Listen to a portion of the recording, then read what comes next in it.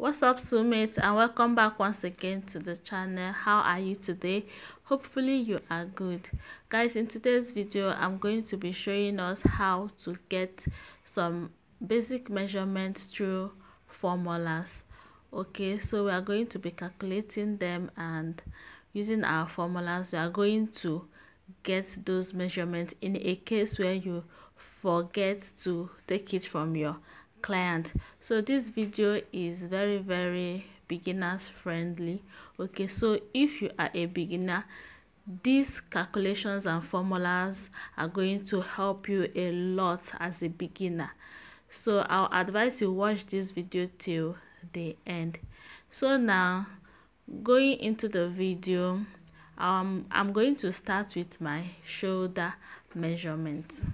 Okay so in a case where you forget to measure your client's shoulder measurement, what are you going to do? So the thing you are going to do, since you've collected the client's um, bust measurement, right? You are going to divide the bust by 6, then you add 1.5 to it that will give you your shoulder measurement. So take for instance that the bust measurement is 40 so we divide 40 by 6 plus 1.5 so we are going to do that with our calculator.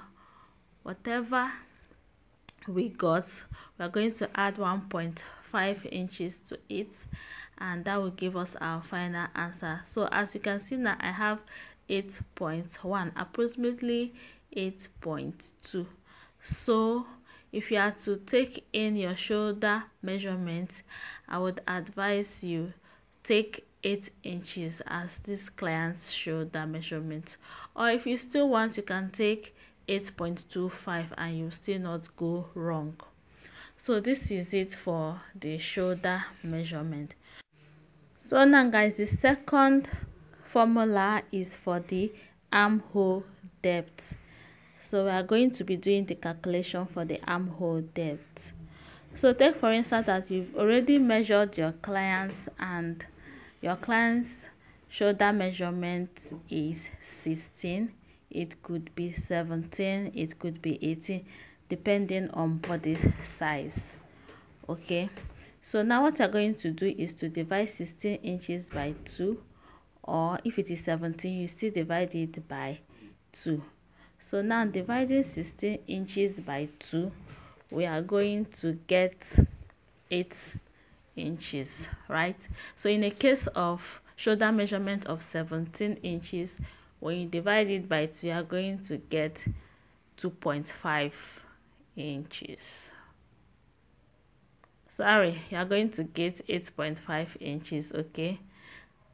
All right so now the next measurement we are going to calculate is for the bust cup size. Yes. Bust cup size. This is for the under bust tightening. You can also use it for your over bust tightening. Okay. So um for your bust cup size what you're going to do is your bust circumference minus your under bust circumference divided by 2 okay?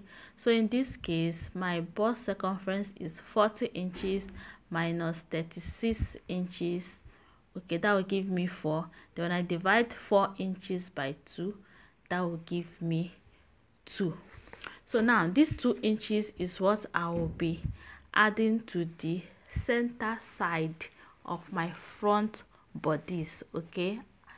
Did you get that? The center side of my front body is not the center front. So i'm just going to illustrate for you guys so i are going to understand what i'm what i'm trying to explain.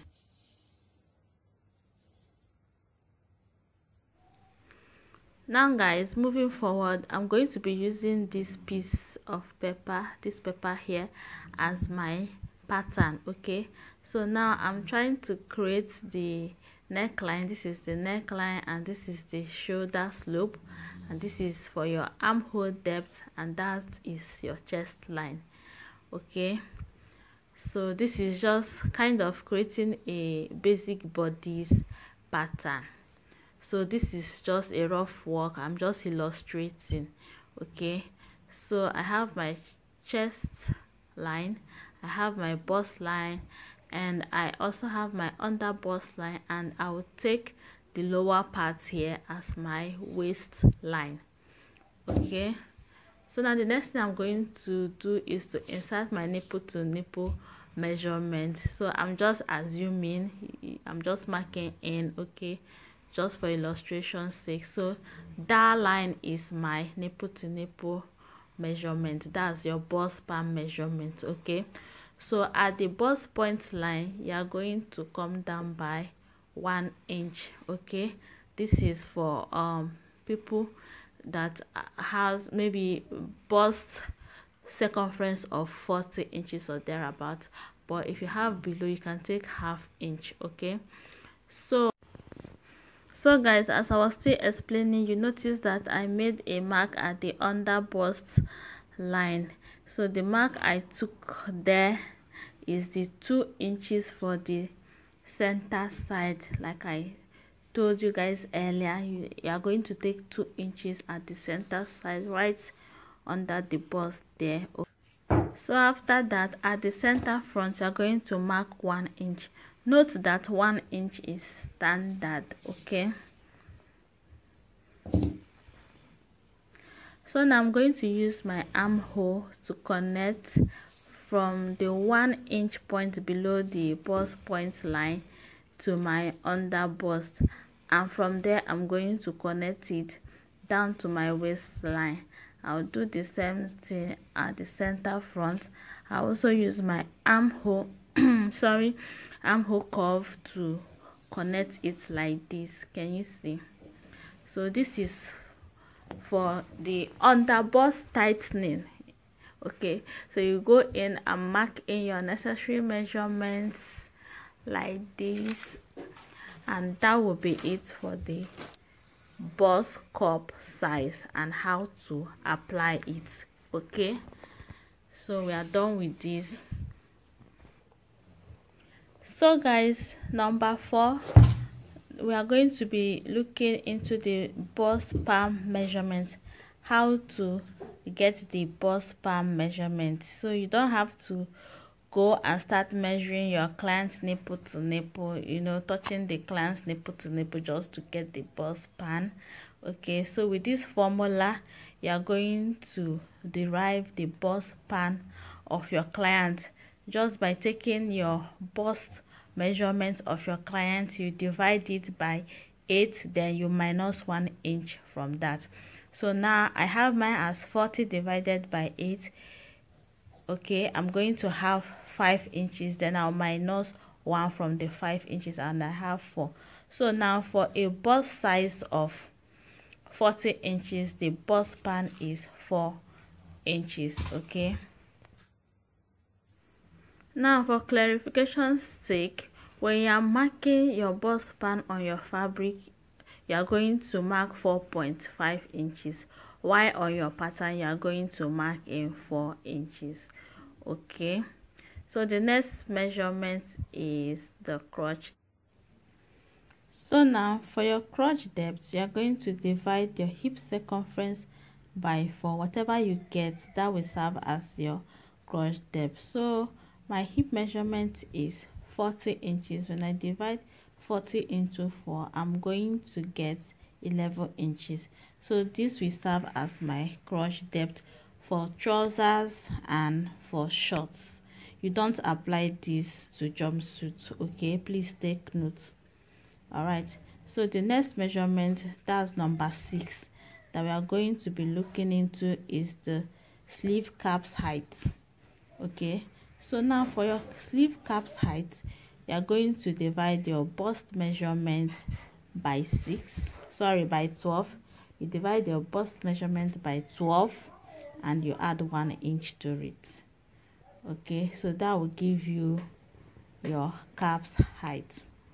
So take for instance i'm bust 40 and i divide 40 by 12 okay i got 3.3 so adding one inch to it that will give me 4.3 inches okay? So you can just take 4 inches as your cap's height or you can take 4.25 and you will be fine. All right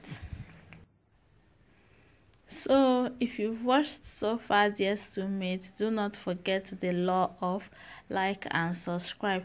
Please like this video so that more people will see this video okay? It really helps us okay? If you like the video just give me a thumbs up all right so our last measurement the last but not the least is the amount of that to take.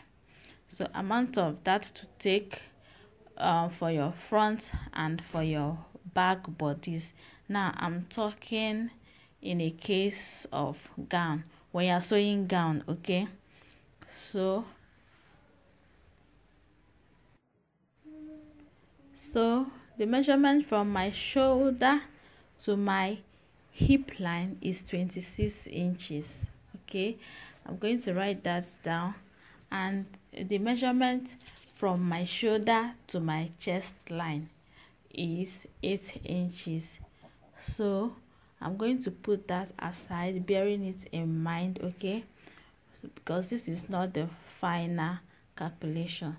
So i'm just illustrating for you guys. So i'm taking this as my pattern right?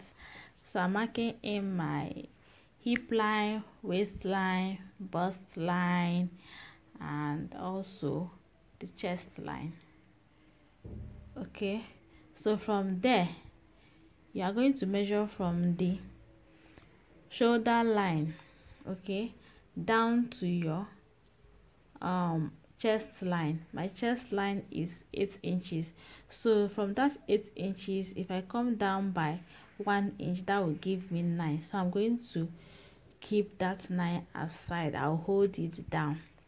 Now you know why marking that at the hip line you are going to come up by 2 inches right? Then you now take your half half inch by the side at your dart line or one one inch depends on you. And they are going to connect from that point where you come down by one inch from your chest line to the point where you went up by two inches from your hip line right that's the illustration. You can pause this video at this point to read meaning to the illustration okay? If i'm too fast or you are not getting me or you can also replay to get the video. So now i'm just going to forge ahead with the calculation. So i'm going when after doing all these things i have 24 and 9 so when you minus 24 inches from 9 inches that will give you 15 inches. And this will serve as the dart for the back. So now guys for the front bodies before i show you the illustration let me just quickly explain that. So from your shoulder line you are going to come down by one inch after your bust line okay? So me my bust line is 10.5 when i come down one inch after my bust line that will give me 11.5 right? So from that 11.5 you now connect it to where you marked um two inches above your hip line okay? So that's how you're going to get your front dart so guys this is the illustration for the front bodies that came i came down by one inch after my bust line okay? And i connect to my waistline. This is in a case where you want to dart a half length um, bodies okay? So you connect to your waistline. But if it is a gown you are going to connect to your waistline and from there to two inches above your hip line. So that is how you are going to take your dart for your front bodies. Fabric or pattern whatever you are working with. If you don't understand this particular part i would advise maybe you replay it for better understanding. Okay?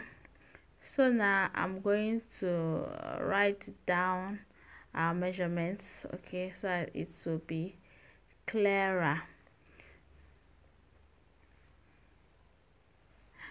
so now remember from shoulder to hip line 26 minus 2 that gave us 24 inches. Now you, you are going to minus that 24 inches from 11.5 okay? You minus sorry you minus 11.5 inches from the 24 inches and that will give us 12.5 so 12.5 is the dart for your front bodice please give this video a thumbs up and also click on the notification bell for more detailed videos